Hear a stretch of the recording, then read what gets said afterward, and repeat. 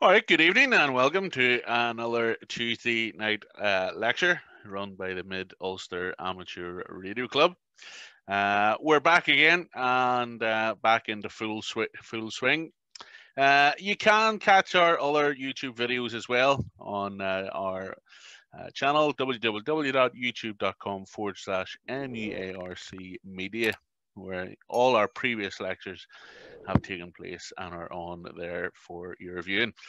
Uh, we're glad to be joined this evening uh, by Dean, uh, and I'm going to pass over to Dean in a wee second. And uh, Dean, maybe you can start off. Tell us. Uh, I'll uh, unmute you there. But oh, yep, great. Tell us a wee bit about yourself, your call sign, and everything else, and where whereabouts you are in the world. Right. Okay. Well, my name's Dean, Dean Brice. Uh, call sign is Golf Zero Uniform India Lima. Um, about myself, I don't really like talking about myself, but I will do, you asked. Um, I always been into radio uh, ever since I was a, a, a young lad of uh, sort of about the age of 11, I would say, 11, 12. Um, but prior to that, I was always into uh, motors and bulbs and batteries and switches and things like that. But when I went to the, as we called it back then, the big school, um, comprehensive school, they had a, an evening class once a week, uh, which was the electronics club, um, part of the science department. And um, now I, I got introduced to radio in a way that it was uh, a crystal set. And um, so I, I, I, built my first crystal set. Uh, I used a Meccano base. I can remember it now. It was it wasn't made of wood. it was a Meccano base. Um, I took the ferrite rod out of the back of a an old wild radio I had. Um, the earpiece the school bought in, so we bought them from the school. Uh, the diode was a germanium OA81, I think it was. I think the the, uh, the, the name of the diode. Um, an O-tuning capacitor. Oh, this is taking about some years. O-tuning capacitor taken out of a, an old radio and uh, lashed it all together and, and uh, slung a wire out the classroom and uh, heard radio on it. Back then, there was a lot of AM commercial radio activity, so it was it was fun. Um, and then when I built that, my friend said to me, Can you build me one? So I had a bit of a business going, really, building crystal sets. And then um, on from that, um, it was the ZN414. It was a 10 transistor um, IC, three legged IC. Uh, you connected up your capacitor coil, your, your resonator, and then your crystal earpiece, a few capacitors, couple of resistors, and you had a, um, a standalone AM uh, receiver. Um, and you didn't need an aerial, which is great, you know.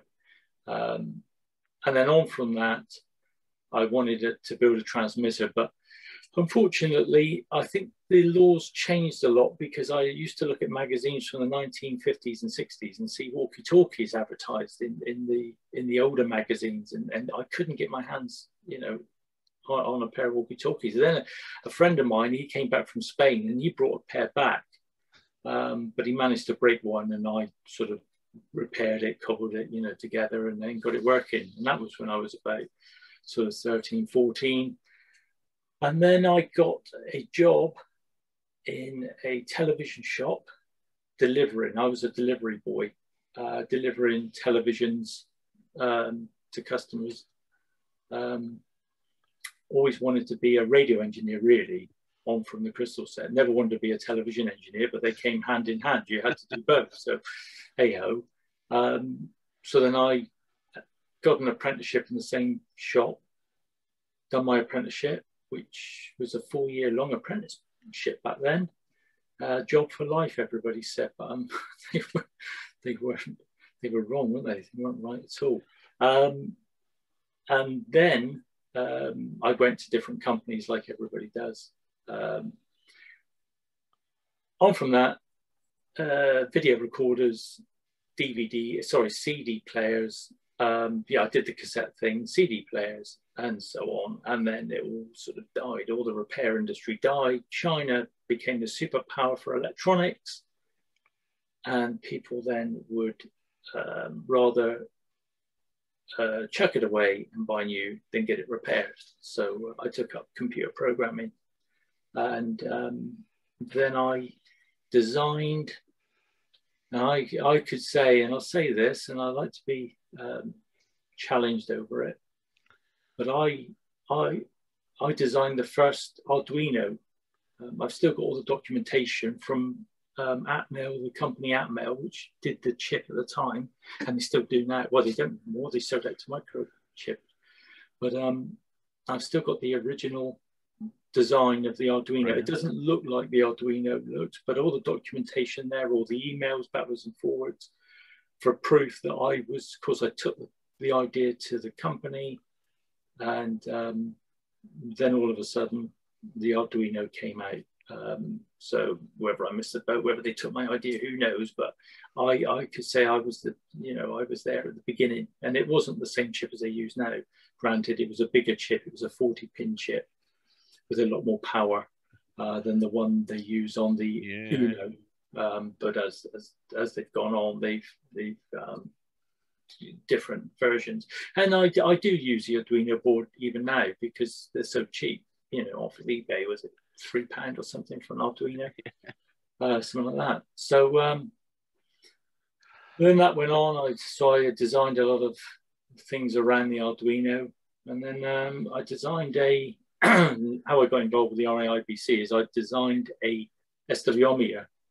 I had no idea, you know, that it, popular. Um, it was just an SWMeter with a screen on it, a few buttons. It, it sort of gave you the power uh, reflective power, uh, peak power. It did, it did different functions. And then somebody said to me, can you put a voice on it? So um, I put a voice and the first voice I put on it was, um, do you know what? I can't remember the name of the chip, but it was a, it sounded like a robot. Um, it was better than the Spectrum mm-hmm. voice, you know, um, but it still sounded like a robot. And then I thought that's not good enough. So what I did then is I wrote a program which really got out of control. Out of control because I wanted other things to put on it. So I did. I put all that on it, and then what I use then is samples. So when you hear the talking box, that's samples playing. Now, it might sound simple. People say, "Oh yeah, you can put a sample on it and it'll play a sample." But when you're talking about a display on on a transceiver, um, it's got one, two, I think it's somewhere eight, it can be up to eight digits. So I've got to pick the sample at the right time, play that sample, and then do other things in the background. So that's where all the complicatedness come around. I mean, anybody could put a sample on the chip, press a button, and it say the same thing over yeah. again. But this has got to interact with the actual transceiver and the end user. And plus, if you've seen it, it also talks to the radio as well. So it's doing a lot. It's doing yeah, If you yeah, if you press a button, um, it will then the radio will do what the the button um, is sort of programmed to do. Um, I also I also wrote um, an AI program on mobile phone. I was trying to get into uh, you know mobile phone apps, so I, I wrote a couple of programs on on on mobile phone, um, and I wrote and built back, oh, it's got to be almost 20 years ago now, um, mobile phone activation for car alarms on a, an SPV 500 mobile phone. And I also uh, remotely from a mobile phone um, connected to a transceiver. So I could um, dial up the frequency on my mobile phone and send it to the transceiver and, and the transceiver did it. So all the all the apps that I see now, I, I sort of not every one, don't get it wrong, but a lot of the apps you see now, I, I sort of wrote that sort of thing back years ago in TCP/IP and it's yeah, it's all it's all old old hat. It is really. And, and we, we, yeah, we've we've seen your Bluetooth satellite tracker yeah. in in the flesh, and it's a great piece of kit. Yeah. But you mentioned the uh, the RAIBC, Dean. Yeah. Um, what what what is it? Right. Who is it? Where you know? Right. What's the history? Okay. There? Well, the RAIBC actually started. I. I guess I've been given these bits of paper here, and I've got to get this right because if I do it wrong, I mean, I wasn't around in World War in in in, in the Second World War, so um, I wouldn't know. But before the Second World War, okay, there was a Friendship Society of Radio Amateurs, had a bedfast section. Now, the bedfast section was people that were disabled. Uh, I suppose they call it bedfast because they were in bed. And the charity, I think, must have started then, where they would help people out that needed help uh, with a radio.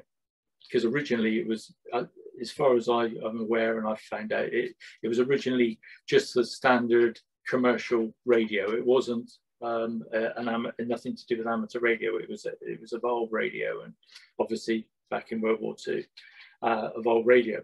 But then towards the end of um, of the 1950s, sorry, towards the end of 1953, um, that wound up. And then it became the Radio Amateur Invalid and Bedfast Club um, in 1954. Um, so now we're, we're sort of 1954. So now we've moved on from the Second World War. We're into 1954. Um, we've now changed the name um, and then the name changed again. I'm not quite sure. I think it was, I've got to go back through here. Um, I'm not quite sure when it actually changed the name. Now, the RAIBC was known as the Radio Amateur and Invalid Blind Club. Um, but for today's system, you, you're not allowed to use certain words like invalid Okay, so you can't use invalid. So it is the RAIBC. So when people say to us, you know, what does it actually stand for? It is the RAIBC because we can we can offend a lot of people, unfortunately. Um, but we do explain this to them. Um, so the actual um, the actual club itself, um, and what we do is we help disabled and well, not, not necessarily disabled people, but anybody really that wants to join the RAIBC. Um, we got supporting members. Um, we we got supporting members. We've got affiliated clubs join, uh, as well as disabled people. And the the main goal that we've been finding since lockdown, I'd say the main goal since lockdown, but the the, the feedback that we get from uh, when we've been in lockdown is a lot of people have been asking for our help with them passing the um, exams, you know, the foundation, yeah, absolutely. And the advanced. So we can help them in that way by um, supplying uh, discs. Now these discs are read by our readers. Um, so we've got the foundation license, the intermediate, and the the uh, full. Um, license read on CD. So um, we've been helping. Yeah, that's great. Instead of all the paper, they, they can actually have the audio files of the content. That's right. In. Yeah, yeah. Um, and also um, we we do uh, a monthly um, magazine online. Well, actually, it's on CD. We we send the CDs out to uh, to our members um, with certain um, magazines on there. A Radcom, we put Radcom on there. Uh, Sprat goes on there uh, every quarterly, and there's a couple of other features, you know, other featured magazines on the on the discs. Great stuff. Great stuff. Yeah. So uh, you, are a complete. The RAIBC is a, a, charity, obviously, but how does it get? Uh, or, or do you want to tell us a wee bit about the equipment side of things? How how does that work? Or, or you say an amateur who is uh, short of sighted says, or someone who says, I'd love to learn my license, the passer license. What happens then if they've no equipment, Dean? What what can they do? Right. Okay. Well, first of all, they got to become a member. Um, now, if they obviously if they're not an amateur radio operator, then we can only loan them uh, receivers. Uh, we can't loan them the, the transceiver. So they'll come to us, just say for scenario, they haven't got an amateur radio license yet. They come to us and then we will supply them or we loan them a disc because they're all watermarked now um, due to people copying them and copyrights and everything else. So, so if somebody comes along, hasn't got an amateur radio license, they'll then they'll join the RAIBC. Then we loan them a, a foundation um, disc. They will then get in touch with the RSGB, which is uh, Dave Wilson.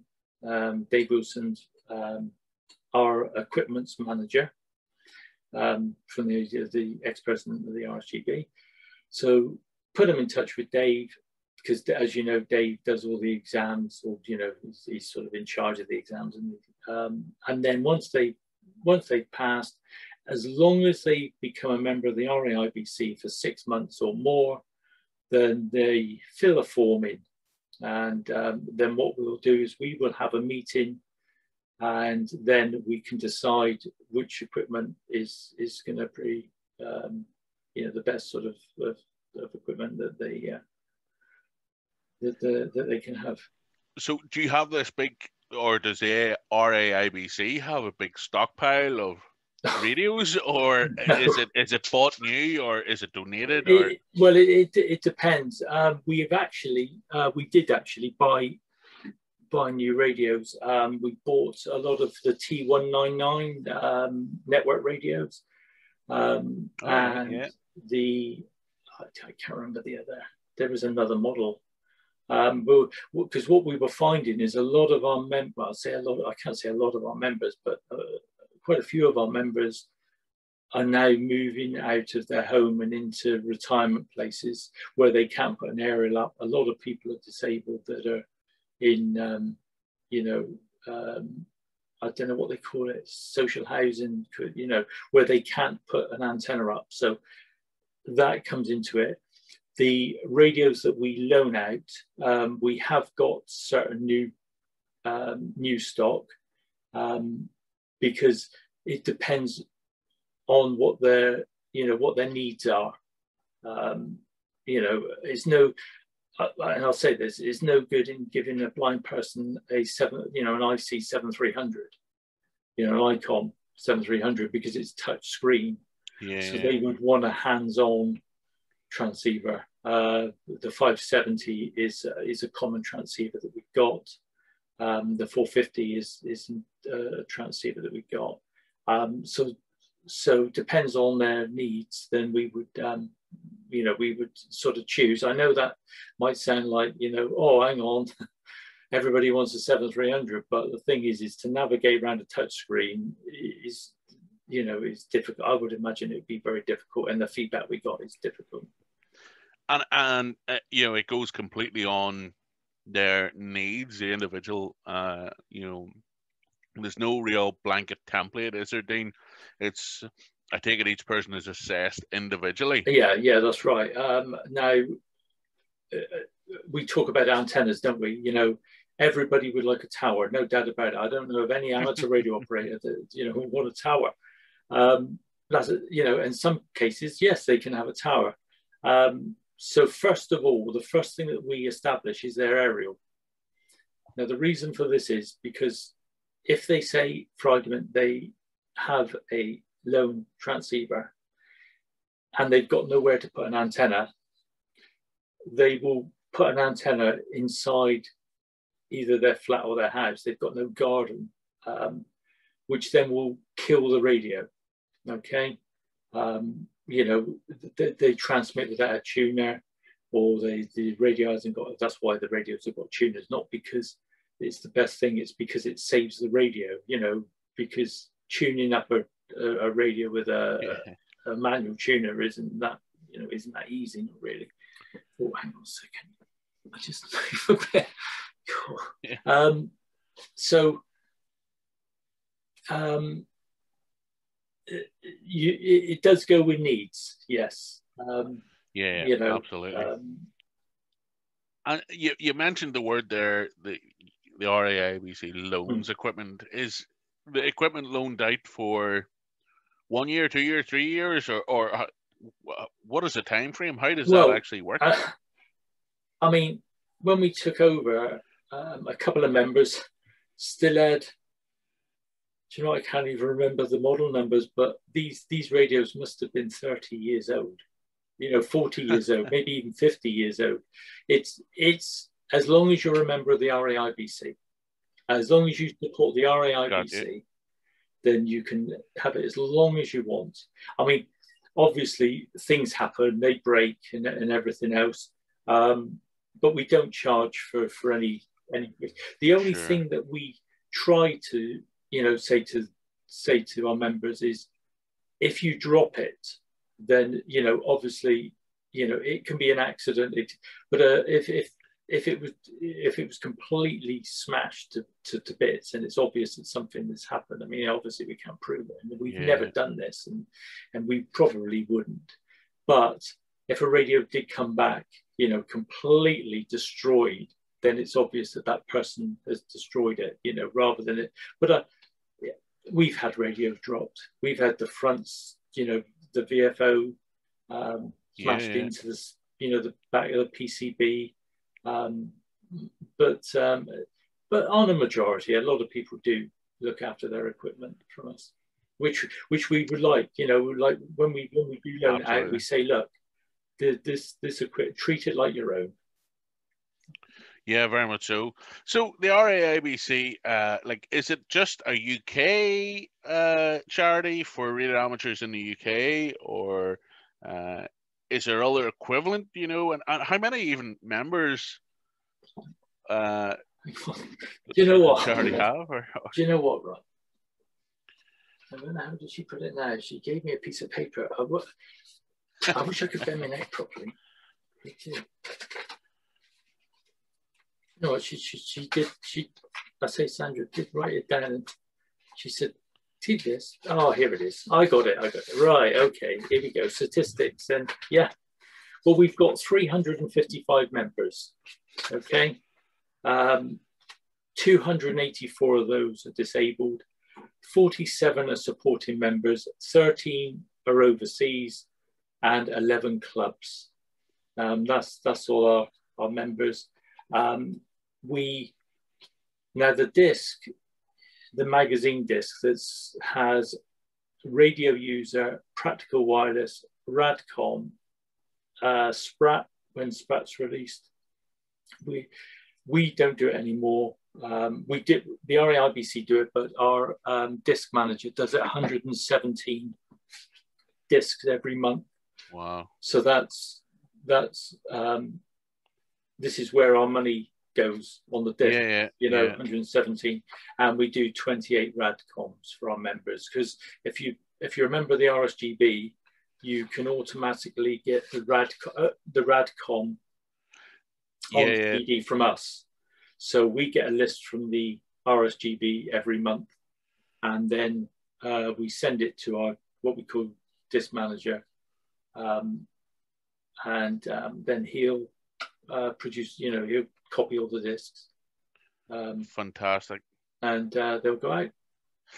and it's really it really is um dean bringing those people who do have additional needs but into the hobby that, that people don't feel left out um what, what what's what's the the major sort of problem or what are, what are the biggest hurdles that the RAIBC finds or is there any hurdles you know uh, is it funding is it lack of equipment or lack of supporters even you know Um, yeah, I, I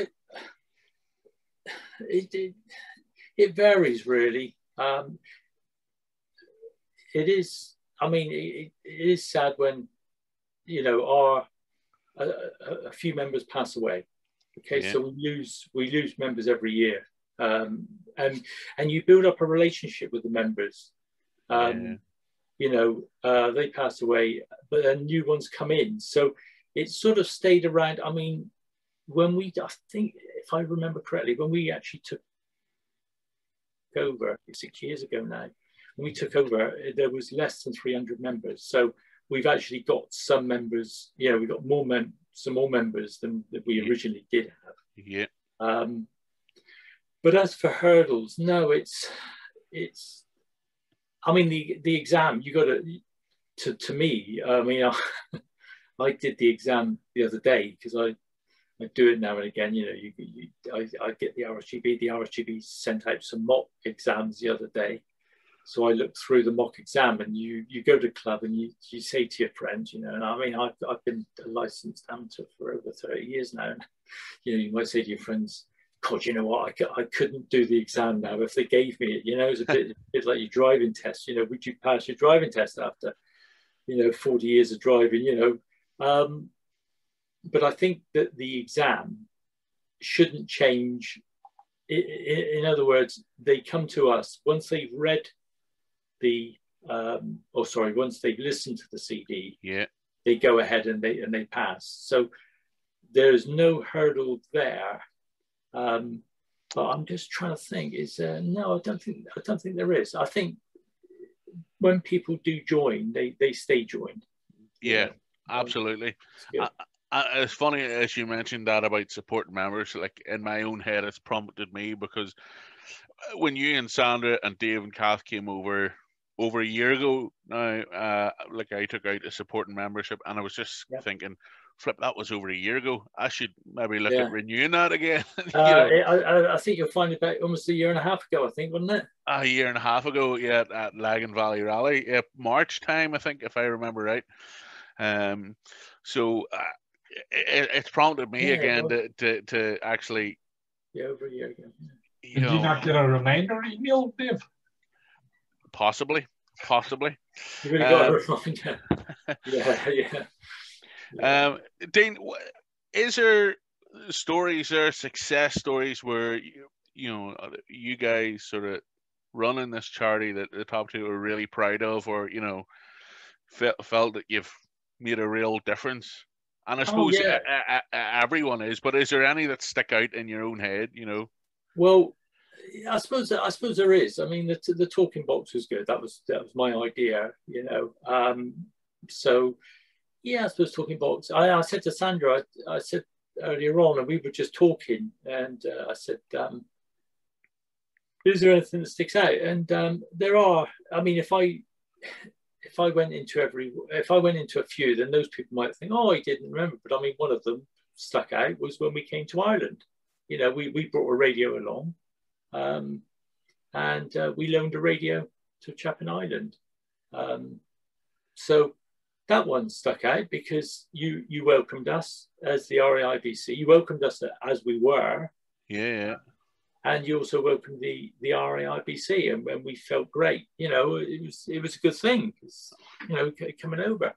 Uh, but if I was to say one person, yes, there is, there is, there is.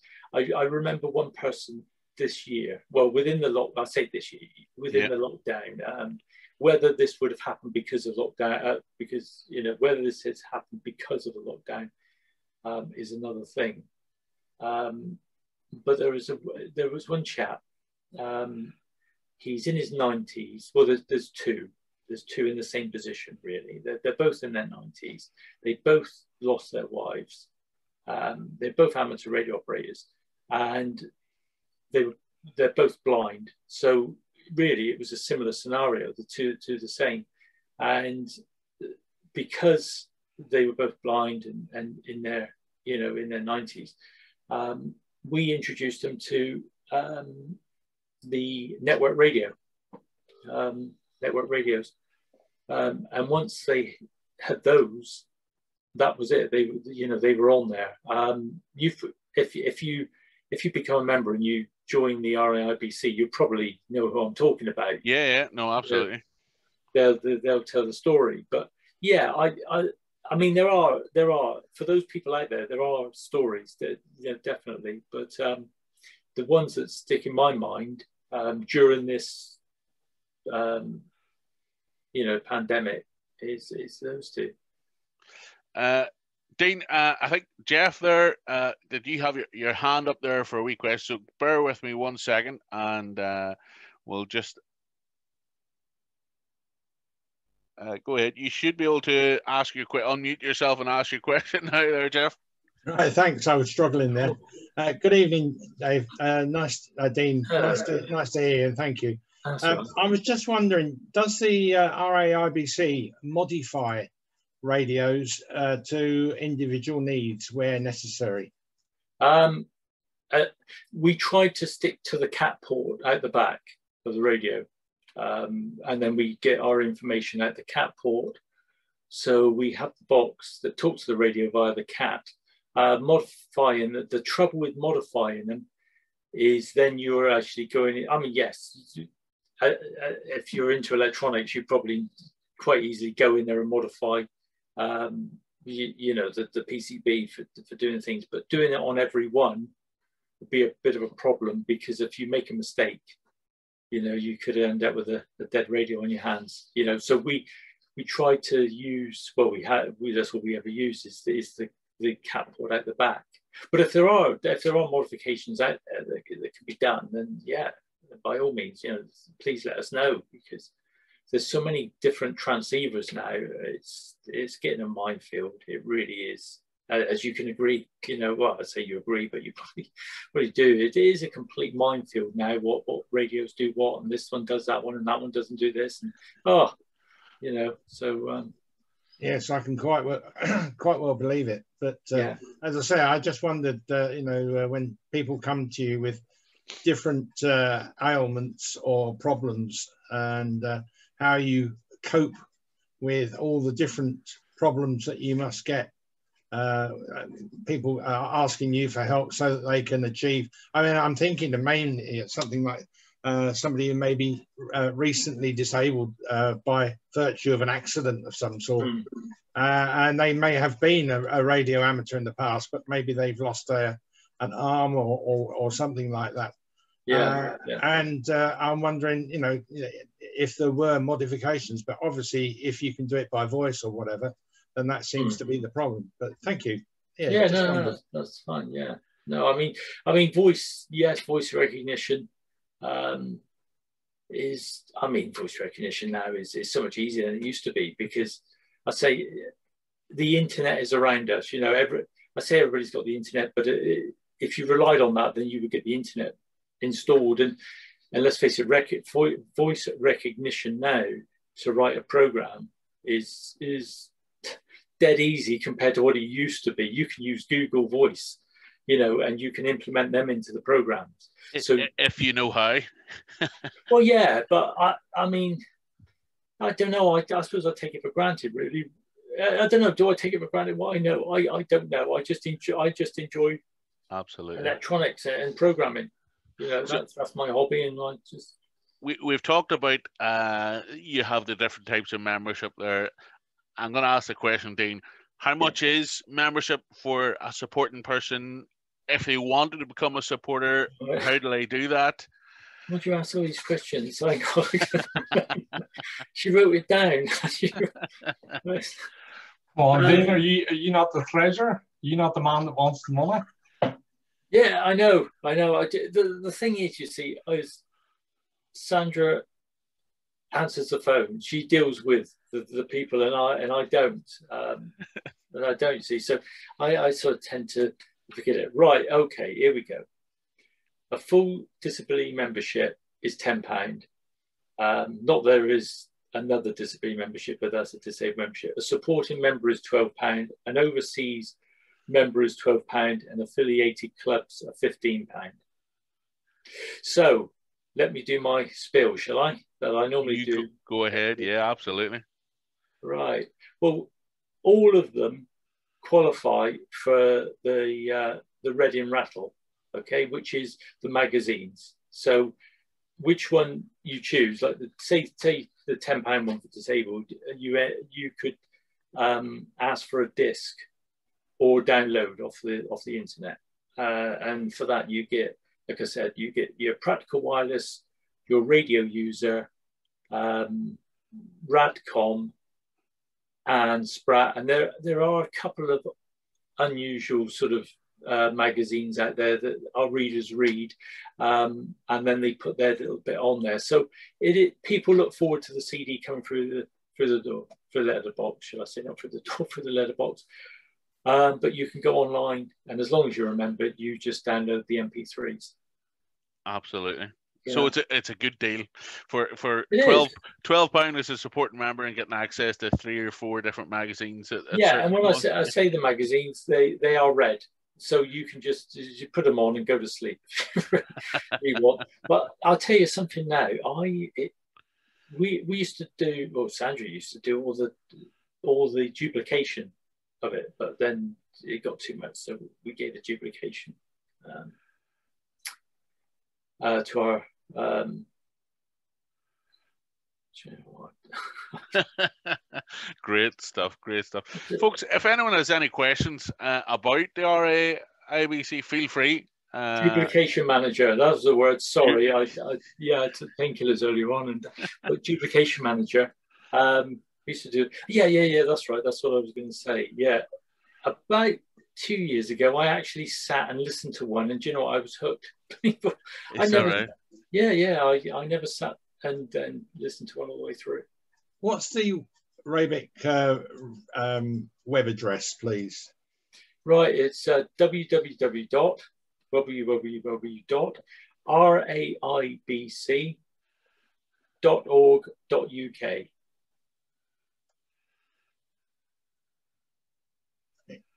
Yeah, thank you very much. I might well uh, I might well apply. Now, if you go online and now we've got a because we had big problems during the lockdown, our server we used um, in it was based in America kept crashing and we lost a, a huge amount of um, data. Um, well, on, on the on the actual website, but we've got the we backed the data up, so we were fine. But we then changed it to have a database online database. So if you become a member now, you can click the membership button and PayPal. You can PayPal the payment, um, and then that way it's it's automatically put up on the on the internet as a as a, as a member rather than before we had to enter it manually. But now we've got it. Um, Some some automation makes things a wee yeah. bit easier. that's the word. That's the word. Great stuff, and and, and I would obviously implore uh, everyone just to to do take out the membership and support uh, this great charity because the work they do is absolutely fantastic. Uh, but anyone else, any other questions there? Um, or or if you'd like to volunteer, get Can involved. I just jump on there? Absolutely. Um, um, this, the, sorry, Dean talks about the full membership, disabled individual UK, ten pound per year, and supporting member. Now that is any disability you may have. And when I went to join Sandra, rightly informed me that if you are dyslexic, that's a disability. So you could save yourself two pound a year. I'm, I'm not trying to do the the society or the club out of money, but you know, if you have any disability at all, and Sandra would openly tell you this, you're entitled to the ten pound membership. Just declare. Obviously, you have to declare that that disability. So I am slightly dyslexic, and I get it for ten pound a year, but it's automatic payment every year, just renews. So uh, still get the reminder email, Dave, but you know, the reminder that it's due. I, mu- I must have a look. yeah, yeah, well, the thing is now, like I say, because because the website's sorted out, the the the um, emails are automatically generated. So before it was manually done. Now it's automatically generated. Um, it comes in alerts where before, you know, memberships lapsed and it would go on for months and months until somebody picked it up. Yeah. Um, you know, so don't, if you do receive an email, it's not because we've sent you one. Um, it is automatically generated and um, it will, I think it's about, is it two weeks prior to the membership um, lapsing? I'm not sure. I, I, I don't know. I must have a look. um, definitely. Uh, I, it could have come out automatically. I'm not entirely sure, but I must must check that because it is something I'd like to keep keep going, you know, and uh, help out. Uh, so, Dean, uh, at the Tuesday night lecture series, we, we sort of went from topic to topic, but I thought we'd break it up a wee bit uh, and, and talk about the bring in the special interest groups. And you're sort of one of the first uh, amateur radio charities that we, have brought in. So I do want to thank you for taking the time uh, to come and speak to us about the work of the RAIBC and what you do and, and how it works and everything else. And I know uh, there's a big team there uh, uh, of volunteers there. You know, you, you've already mentioned the, the duplication and the desk manager and the equipment manager and everything else. You got readers. Yeah, yeah, absolutely. Kath as a chairwoman. Yeah, so so many people out there helping. So do pass on our, our thanks, you know. Yeah, well. and I'm sure there's uh, there's plenty of people who've uh, has amateurs who've ha- felt it a real difference and benefit from the work of the charity. So it's it's been great to have you hmm. along. No, that's okay. That's okay. Is it possible to get talking about it? Go on, Jeff. Is it uh, is it possible to uh, or and do you like or appreciate uh, if uh, Silent Keys have uh, deeded their equipment to RAIBC? Oh, yeah, absolutely. Um, because without that, no, I'm not saying, no, I shouldn't really say that, but that is a help to loan the equipment.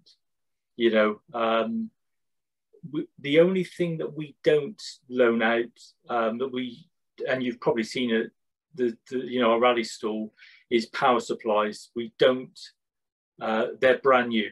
The power supplies will be a brand new power supply for obvious reasons, you know, um, it's a fire hazard. Yeah. You know, um, and the other one is um, mic- uh, microphones. That if somebody has a say a used piece of equipment, like you know, a, a used radio, they will receive a new power supply, a new microphone with it. I've always said that, um, and uh, I think a lot of people would appreciate it because you can imagine somebody's microphone. You know, it's it's nice to open a brand new microphone that hasn't um, uh, been uh, used. some people swallow their microphone yeah, whenever well, they're talking. Is that what you're saying? Yeah, yeah that's like right. Sometimes. I, I, mean, if, if they can be cleaned up, but most of the time, the the the paper element inside and and all the bits of stuff inside, you know, uh, not everybody does that. I can't say everybody, but, but on a whole, it's um, and it's normally um, desk microphones we supply because people's disabilities um, a desk microphone. Absolutely. So, so that's what we. Uh, but yeah, as for um, you know, you know, people donating equipment, yes. Um, if if it's a transceiver and we can clean it up, we can you know loan it out, then we will. You know. Okay, thank you. Or, any, or anything really. You know. Thank you. Fantastic. Okay, anyone else have would like to ask Dean or, or any, anything else about the RAIBC or anything at all there? No, quiet. uh, again, Dean, thank you very much uh, no, for taking the time. Well, hopefully, I've um, give you some information, and it's been. It's, so, sorry, I. The trouble is, is that um, for those people that don't know, I had a, I had a, a, a neck operation big, big neck operation um, last year. And uh, it's, the, uh, the operation went all right, but the problem is, is the, the nerve damage that is left is, um, is there. So that's why I'm, I'm sort of propped up here. I can't slouch. I'm not allowed to slouch. I can't go in front of a computer for long. It's a load of things that I can do. But hopefully I've sort of you know, giving you an idea of what the RAIBC is about. That's the thing. You have, you have, and we do appreciate you suffering sitting there. Yeah, so yeah, we won't, hold, we won't hold you much longer. But you're getting uh, rid of me now, are you? No, no. Oh, right, okay. uh, just th thank you, thank you very much. Again. This is the first Zoom meeting I've ever done, to be honest. Oh, it's not. It, sure, it's not. This is. This is. is First, yeah, first first Zoom meeting I've ever. I didn't even know about Zoom until about well, I don't know when it sort of I don't know. I say about a year ago. I didn't know it existed. Uh, you know, somebody said Zoom to me, but this is the first time. In fact, I had to navigate me way around. I had to navigate my way around the computer to get the thing going. There you well, go. Well there done. Go. Well done. That's another achievement. Well done. Not everybody succeeds. That's true. well, He's a programmer it, as well. Yeah. I... Oh.